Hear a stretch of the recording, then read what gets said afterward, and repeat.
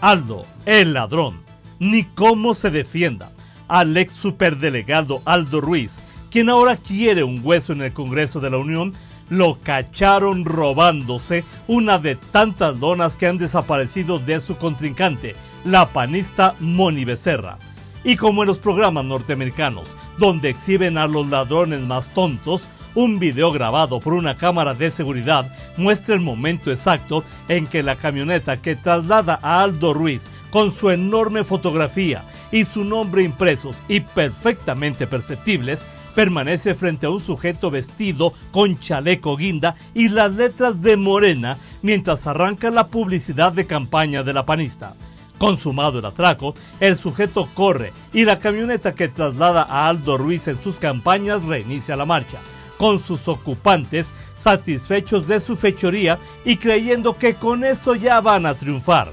Lo único que ganaron fue ser exhibidos públicamente, que se confirme que juegan chueco y una posible demanda por los delitos electorales que se les acumulen. Por cierto, ¿dónde quedó aquello de no mentir y no robar?